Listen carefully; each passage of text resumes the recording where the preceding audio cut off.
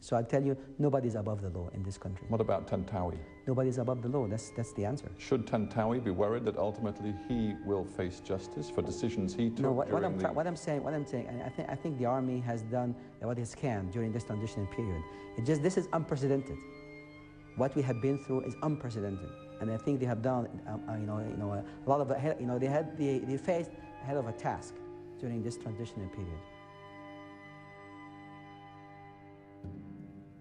Stork of, of Human Rights Watch Middle East says for the past year and a half, the military in this country has been getting away with murder, with torture, with sexual assault because military investigators are unwilling to seriously investigate their own.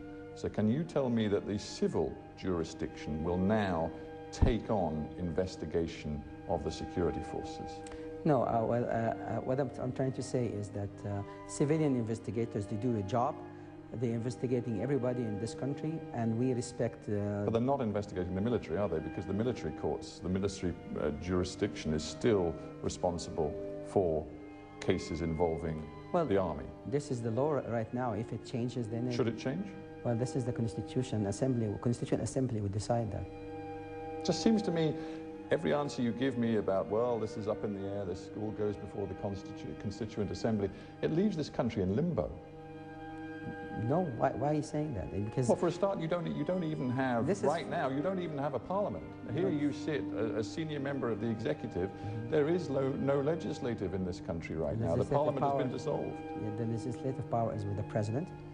And it's just that the nature of some of your questions that, uh, I, you know, there is no answer for them at this point of time. So if you ask different questions, I might give you the answers.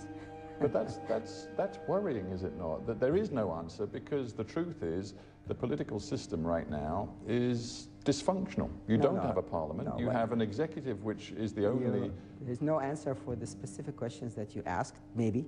Some of them I hope I answered to you satisfactory, but uh, maybe if other questions I'll be able to answer.